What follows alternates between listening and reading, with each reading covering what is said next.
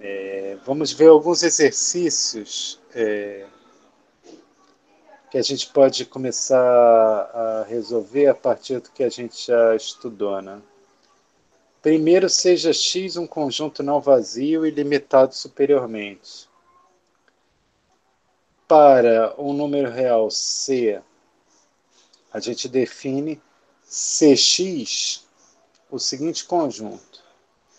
É você pegar todos os elementos do x maiúsculo, do x grande, e multiplicar pelo número real c, né?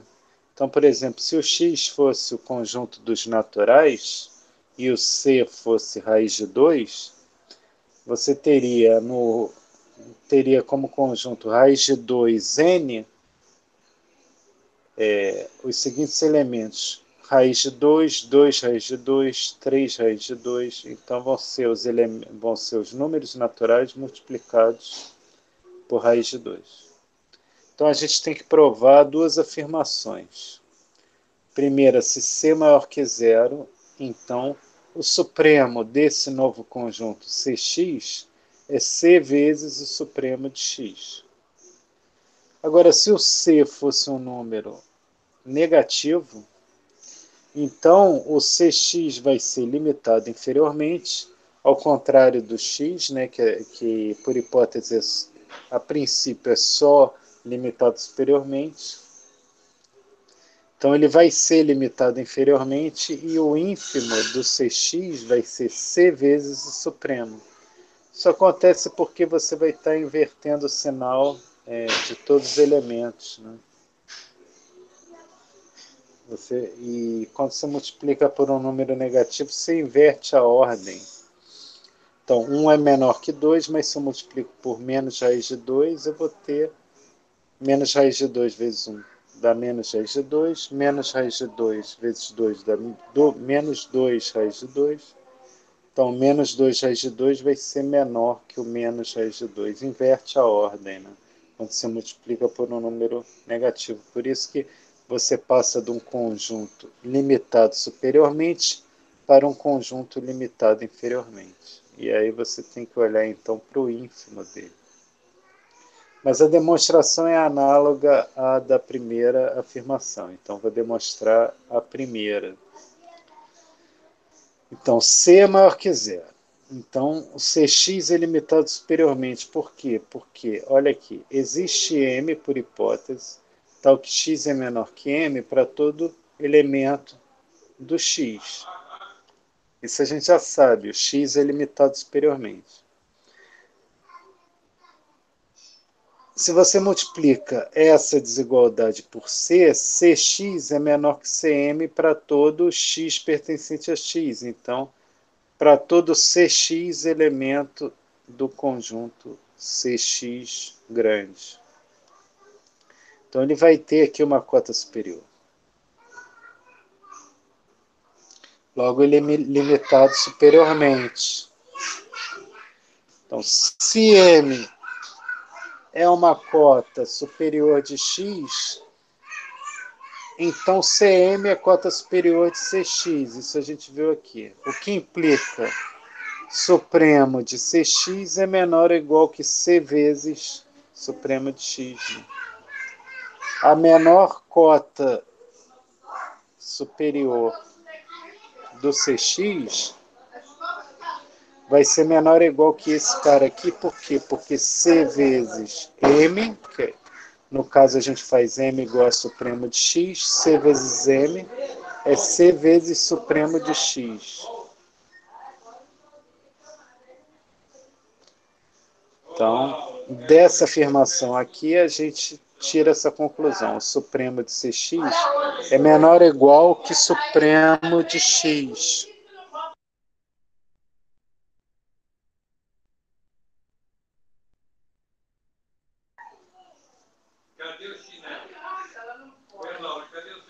Agora, se o x pertence é, ao x grande, e ele é suficientemente próximo do supremo de x, por exemplo, a gente escolhe epsilon sobre c próximo. Ele vai ser sempre menor ou igual, mas ele vai ser aqui epsilon sobre c próximo, né? a diferença entre eles é menor que epsilon sobre c, então a gente multiplica por c e encontra que o c supremo x menos epsilon é menor que algum elemento do cx. Então, isso para todo epsilon. Então, esse cara aqui não pode ser não pode ser supremo do cx. Então, o supremo do cx vai ser esse cara aqui. Ele vai ser a menor cota superior de cx.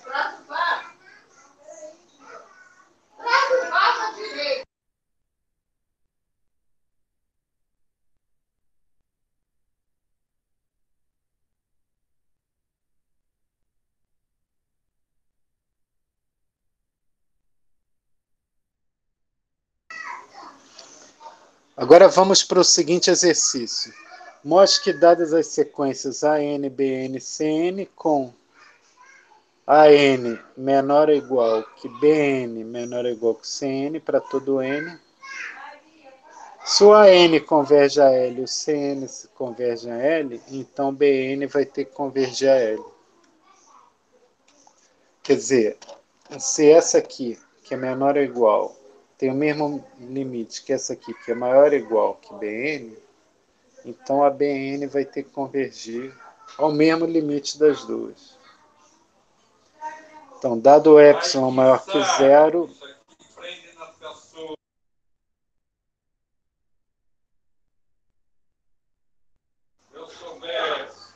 Dado epsilon maior que zero, escolhemos N1 tal que N maior que N1 implica o AN, né? então a gente encontrou o índice a partir do qual o AN é epsilon próximo de L. Né? E a gente encontrou o índice a partir do qual Cn é epsilon próximo do limite, o N2. Né? E a gente pega N0 maior entre os dois. Assim, se o N maior que N0, então, L menos epsilon menor que Bn menor que L mais epsilon. Por quê? Porque o L menos epsilon vai ser menor que a N, que é menor ou igual que Bn, que é menor ou igual que Cn, que por sua vez é menor ou igual, é menor que L mais epsilon. Isso implica Bn converge a L. Bem simples, né? Outro exercício. Mostre que se a sequência AN converge para A, com A maior que zero, então raiz de AN converge a raiz de A. Isso aqui é bem simples, né? A gente usa o fato de que raiz de AN menos raiz de A vezes raiz de AN mais raiz de A isso aqui é o quadrado desse cara, dessa raiz, que é o próprio AN, menos o quadrado dessa raiz, que é o próprio A.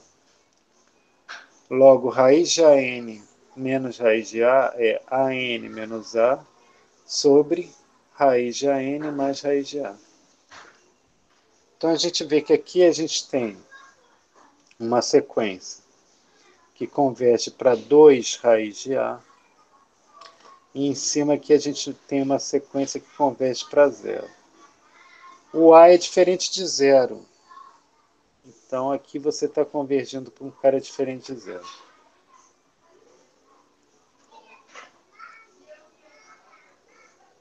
Então você pode fazer esse limite.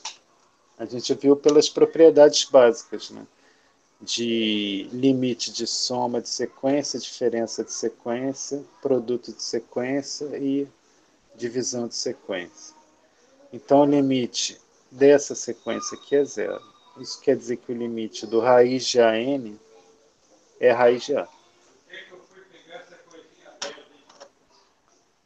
Agora, o quarto exercício. Mostre que AN igual a A elevado a N sobre N fatorial converte para zero. Isso aqui é fácil ver que todos os termos são positivos, né? que a partir de um momento ela decresce. A partir do n maior do que A,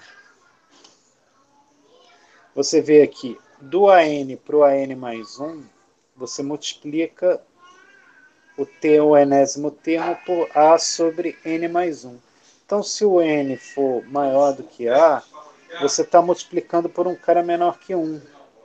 Então, o AN mais 1 vai ser menor que a N. Então, para um N0 maior que 2A, cada novo termo, a multiplicação vai ser menor que meio, essa multiplicação aqui. O N0, o N mais 1 vai ser maior que N0, que é maior que 2A. Então, você vai estar multiplicando por um número menor que meio. Então, aqui o enésimo termo vai ser A elevado a N0 sobre N0 fatorial, vezes esses termos aqui. Você tem N menos N0 termos iguais no numerador e N menos N0 desses termos aqui, né? Do fatorial, que transformam o N0 fatorial em N fatorial. Então, como cada um desses aqui, A sobre N, A sobre N0 mais 1, A sobre N0 mais 2, são menores que meio, então você vai ter aqui meio elevado a N menos N0. Essa sequência aqui tende a zero, é uma constante vezes a sequência 1 sobre 2 n menos n0. Quando n se torna muito grande, então você tem uma potência de 2 negativa aqui com um expoente muito grande. Então vai dar um número muito pequeno, cada vez menor. Isso vai tender a zero. Então, aí está demonstrado que essa sequência A elevado a n sobre n fatorial converge a zero quando n tende a infinito. Então, até mais.